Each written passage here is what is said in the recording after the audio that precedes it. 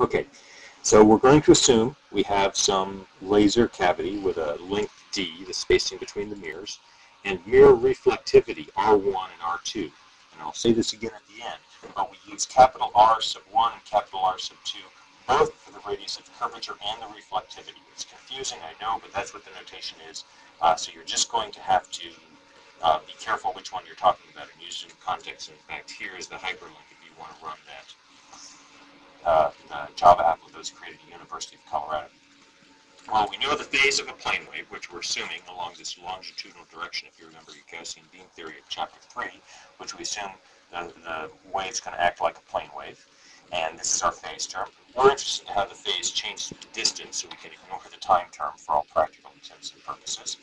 And we know that in order for the wave to add up in phase, the, the round trip, distance z, is equal to 2d, because that's how long it takes for the wave to recirculate inside the cavity and come back to its starting position. And that multiplied by the wave vector, uh, 2 pi over lambda, needs to be equal to some integer multiple of 2 pi, because that's the condition that the wave repeats itself in. And q is just an integer, so let's go ahead and write that down.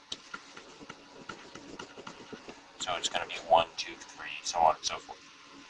Well, this can either easily be rearranged to say that for a given wavelength, if you're going to have resonance, if you're going to have a longitudinal mode, if the laser will be allowed to laser at a very specific wavelength, the length of the cavity has to be that, or the wavelengths that are allowed in a particular cavity, d, are given by that. And so when you look at, as a function of wavelength, the intensity I that comes out of a laser, um, on a very, very expanded scale, you'll see that you only get certain wavelengths that are allowed to come out of this laser, and you will not get frequencies or wavelengths that fall between these allowed longitudinal modes. And again, these are called longitudinal modes of a laser. They're the allowed frequency given by the condition that in a round trip, the phase of the wave has to be some integer multiple of 2 pi. So let me get another pin here. And how about black? And we'll get a ballpoint pen since it's a little easier to write with for fine things. And let's do a, a particular example with this. And so, a helium neon tube, the laser you've been using in the lab, uh, I have one of these with the distance between the mirror of d equal 22 centimeters or 0.22 meters, because I like to work in meters. I know that lambda is equal to 632 nanometers. That's pretty straightforward. And in this case, I know that lambda is equal to dq over 2. Um, and I can go ahead and I can solve this for q. And when I put in my value of d and my value of lambda, I find that q is equal to 695,322. Um, and this actually corresponds to a wavelength of 632.8003 nanometers. Uh, if I want to know if I change my value of Q by one more and say Q is equal to 695,323, then I find that the wavelength is 600 32 nanometers, 0.7994. Um, and so very small changes in the area your value will give me very different wavelengths. What does this mean? The spacing, delta lambda, between two modes up here. Let me go ahead and erase all of this so you can see this a little bit better. But we're talking about the spacing delta lambda between two different modes is lambda of q minus lambda of q minus 1. And essentially what we're finding that to be is 0.0009 nanometers.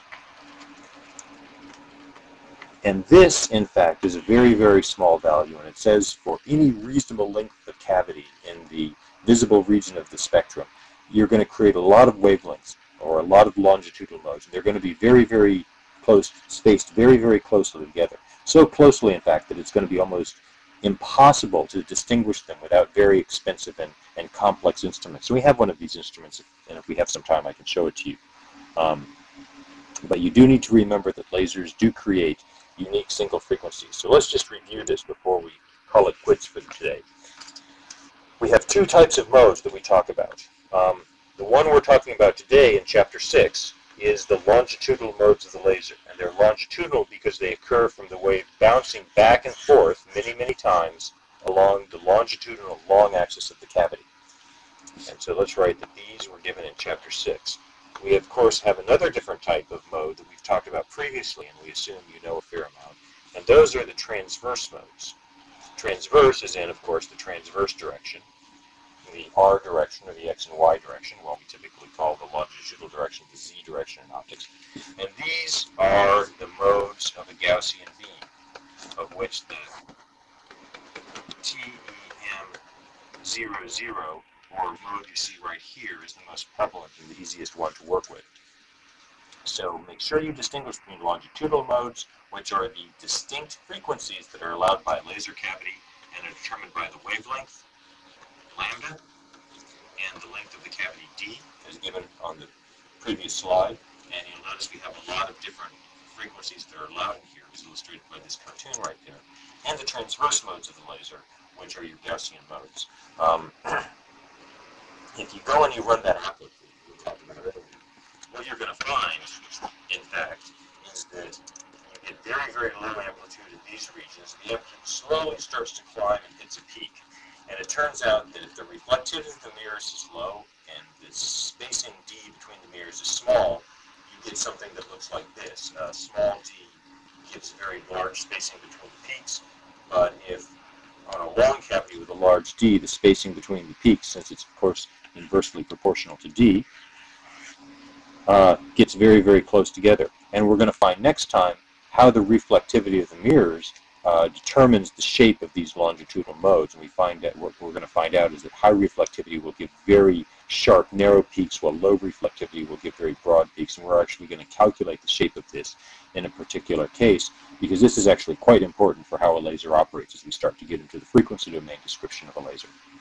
And that's all for today.